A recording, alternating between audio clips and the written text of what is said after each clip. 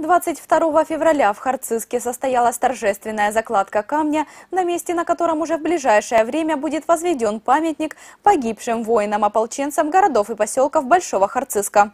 С вопросом о том, каким образом будет устроен конкурс на проект монумента и на какие средства он будет построен, мы обратились к заместителю главы город администрации Виктории Заливадной. Уже известно, что мемориальный знак будет установлен на пересечении бульвара Полупанова и улицы Чумака напротив памятника летчикам-героям Великой Отечественной войны.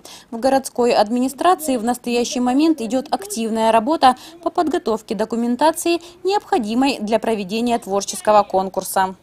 А, отдел культуры и архитектуры и градостроительства, два отдела администрации города Харциска ведет активную работу по подготовке э, проекта положений по открытию этому памятника, где будут прописаны все условия, и э, распоряжение по э, созданию комиссии жюри.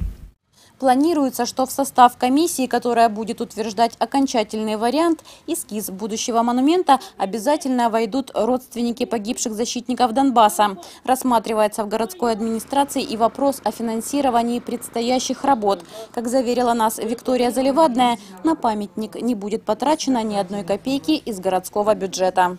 Мы не рассчитываем на бюджет, мы понимаем, что гораздо больше э, есть так скажем, у нас э, дыр, которые необходимо залатать, те же самые дороги. Данное мероприятие будет организовано, есть у нас некоторые источники да, финансирования, это бюджет, это спонсорская помощь, это будет спонсорская помощь. Информацию о начале и условиях проведения конкурса желающие принять в нем участие смогут получить на официальном сайте Харцизской администрации. Исполняющий обязанности главы администрации Александр Левченко выразил пожелание, чтобы торжественное открытие памятника на месте заложенного на прошлой неделе камня состоялось еще до конца текущего года.